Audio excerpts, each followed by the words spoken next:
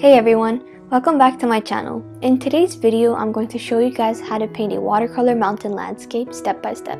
I tried to keep the steps as simple as I could. This painting may look hard if you look at it like overall because there's a lot of details, but it's actually just like a combination of various techniques that I will explain to you guys, such as how to paint the mist, the forest, and the reflections. Before I begin, I want to talk to you guys about a really interesting website called Skillshare. What is Skillshare? It's an online learning platform where you can find many different kinds of classes. You can find classes on photography, business, Photoshop, and even watercolors. The watercolor classes on Skillshare are perfect for people that want to learn about painting in details and in an easy way. Every watercolor class in Skillshare has steps and techniques broken down in little lessons. This can really help you absorb and understand the material. After each class, there is a project for you to try out based on what you learned in the class. The best part is that you can get to explore all of these classes for free. You can use the link in my description to get two free months of Skillshare. I highly recommend you to simply try this website out, especially if you want to learn more on watercolor painting. I really like this whole platform, so soon I'll be launching my first class too.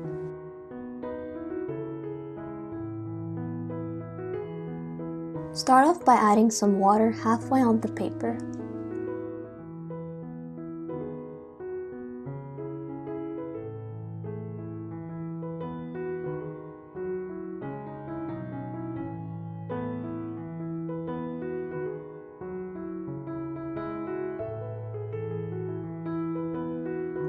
I'm going to add some yellow strokes too.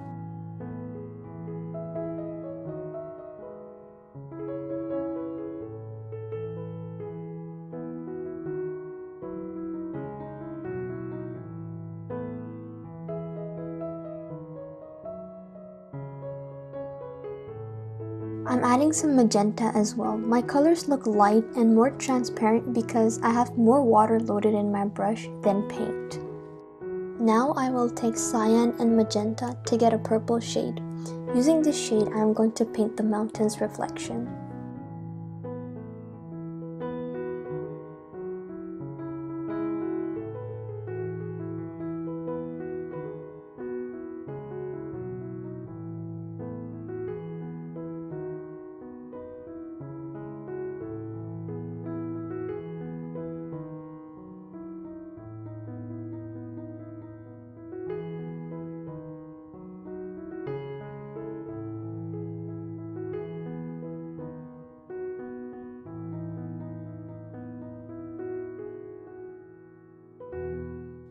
Now I'll mix a darker purple shade. I'm mixing magenta and ultramarine.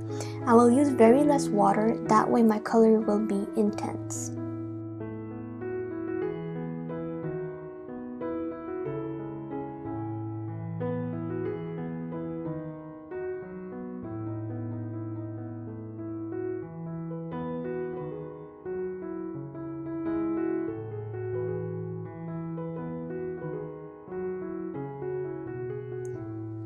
Take a clean, lightly damp square brush and make lines to pick up some water. After every line you make, clean your brush and then repeat.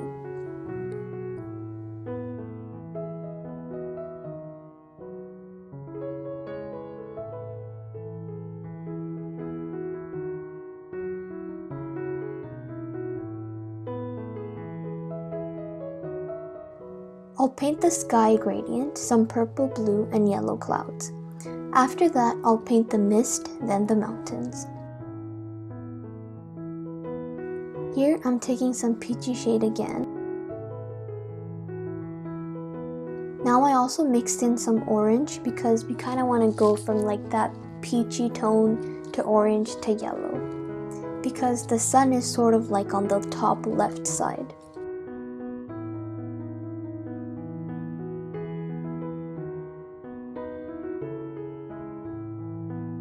Take yellow and make strokes on the left. Then make strokes a little bit where the peachy shade begins, just to connect the colors. Use magenta and paint the rest of the sky. Now add some purple on the top. Take some intense purple, like less water and more paint, and make sort of cloudy shapes. Don't worry too much about getting the right shape. Try to follow what I'm doing and even if it doesn't really look the same, don't worry because all of this is just gonna become more blurry. Take magenta and repeat this step. I'm just sort of making wiggles with a light hand and lifting the brush a little bit as I paint. If you ever feel like you made too much clouds and now it's becoming a big blob with no shape, don't worry. Take some paper and lift some paint. It can also give a nice highlight to your clouds. I recommend you to use paper towel.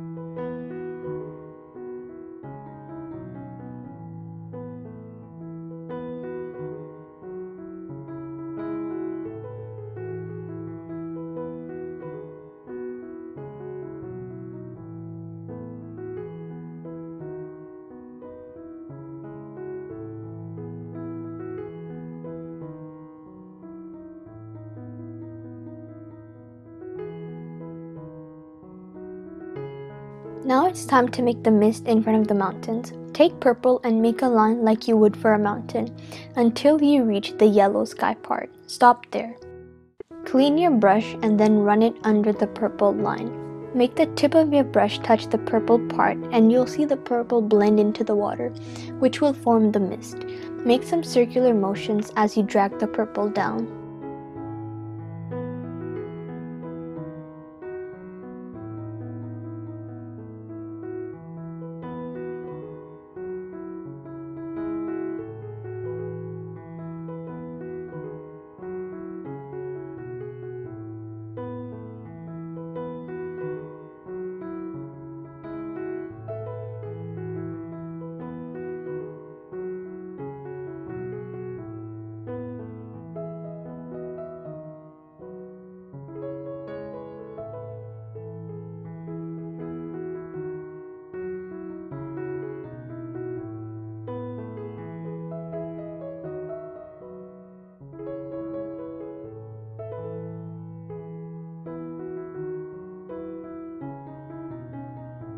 To add the snow texture, start with making strokes with a very dry brush. Mix more water in your purple and paint downwards.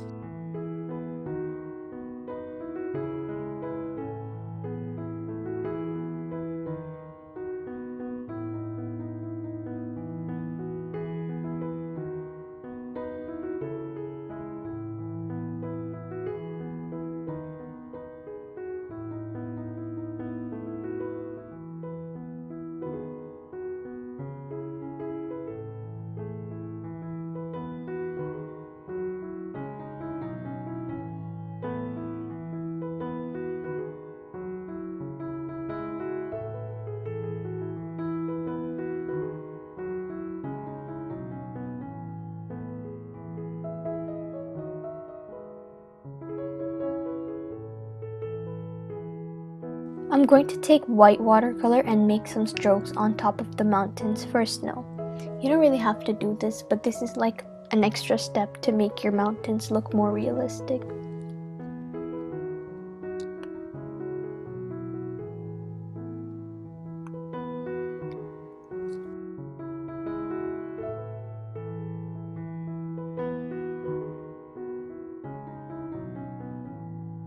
Now I'm going to paint the second layer of the water reflection.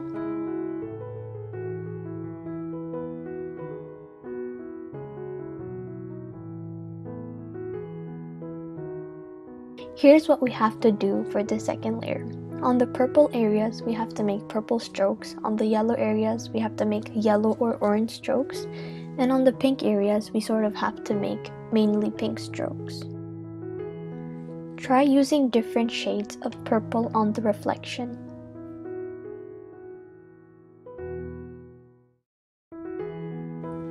Now these vertical lines that I am painting represent the forest reflection.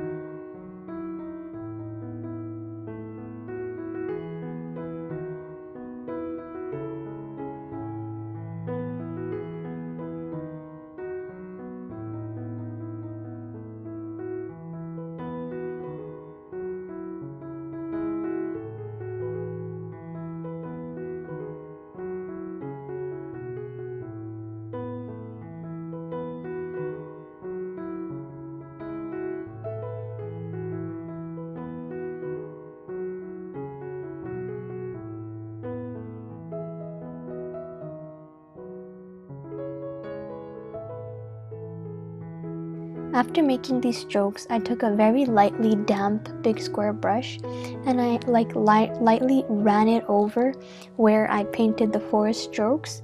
This kind of blurred the lines and made them look smoother. Now it's time to paint the trees. You can use a thin brush or a big one that has a very fine tip.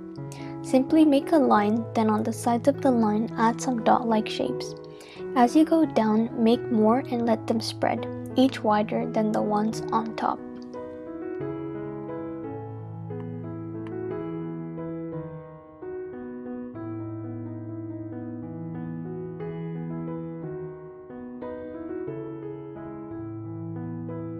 Once you've painted the forest, make vertical strokes downwards for the reflection. For a realistic effect, make some of the lines as long as the trees are. Add your birds and then take off your tape once the painting is dried. And we're done.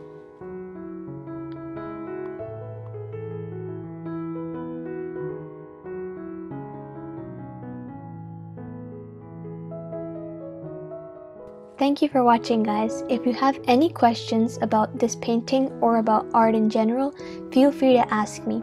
Use hashtag lookaishah on Instagram if you want me to see your paintings. And don't forget to comment below what you guys want to see next.